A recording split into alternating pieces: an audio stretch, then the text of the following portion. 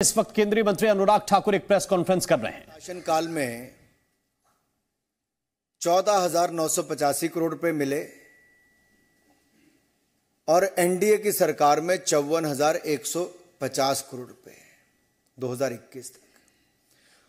इसी तरह से ही प्रधानमंत्री आवास योजना में यूपीए के समय चार हज़ार चार सौ छियासठ करोड़ रुपए मिले तो एनडीए के समय तीस हज़ार करोड़ रुपए। लगभग सात गुना से ज़्यादा। अगर एनआरएलएम की मैं बात करूँ, बैंक लिंकेज की, नेशनल लाइवलीहुड मिशन की तो मात्र 626 करोड़ रुपए मिले थे यूपीए के समय। आज चौहत्तर हज़ार चौंतीस करोड़ रुपए मिले हैं। बारह गुना से ज़्यादा। एनआरएलएम की बात करूँ मैं आरएफ और सीआईएफ की तो यूपीए के समय मात्र तेईस करोड़ रुपए मिले थे। अब तीन हज़ार सात सौ पैंतीस करोड़ रुपए मिले तेरह गुना से ज़्यादा। इसी तरह से ही अगर वित्त आयोग की राशि की बात करूँ तो तीन हज़ार दो सौ सत्तर करोड़ रुपया यूपीए के समय मिला और एनडीए के समय पच्चीस हज़ार करोड़ रुपए के लगभग आठ गुना ज़्यादा। आरजीएसए की राशि इकतालीस करोड़, यूपीए के समय, हमारे समय दो सौ सत्ताईस करोड़। आंकड़ा कुल मिलाकर देखिए, यूपीए के समय अट्ठावन हज़ार करोड़ रुपया है तो एनडीए के समय दो लाख पाँच हज़ार तीन करोड़ रुपए, दो लाख पाँच हज़ार, तीन करोड़ रुपए। ये अपने आप में दिखाता है कि केंद्र सरकार से कोई कमी पश्चिम बंगाल के विकास के लिए नहीं रखी गई।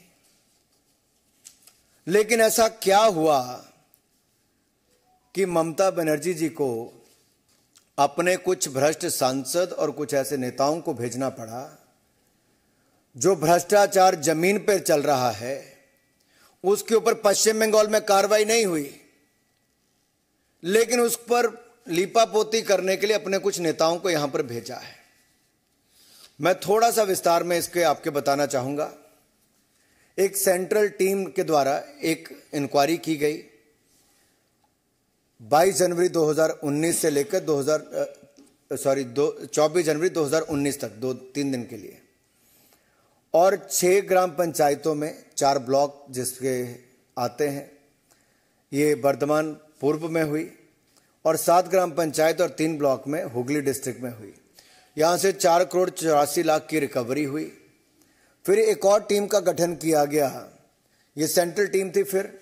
ये 13 सितंबर 2021 को गई और 17 सितंबर 2021 तक इसने इंक्वायरी की। और इसी तरह की इसकी ऑब्जर्वेशन एक बार फिर आई। अब इसमें क्या ऑब्जर्वेशन आई? बड़े काम को छोटे छोटे में बांट के इस तरह से खेल खेला गया कि नीचे तक जानकारी ना पहुँच पाए।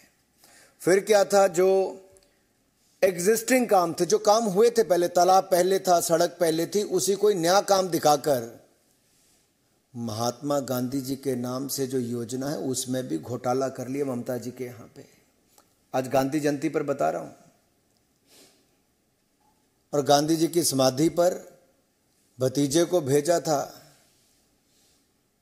और देखिए कैसे समय, जिस योजना पर इतना पैसा खाया गया। सड़क, तालाब, ये दिखाए गए जो कभी बने नहीं, जो पहले से ही थे, उसके नाम पर पैसे खा गए मालदा डिस्ट्रिक्ट में।